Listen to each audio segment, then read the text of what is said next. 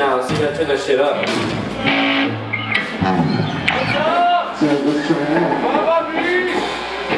Alright.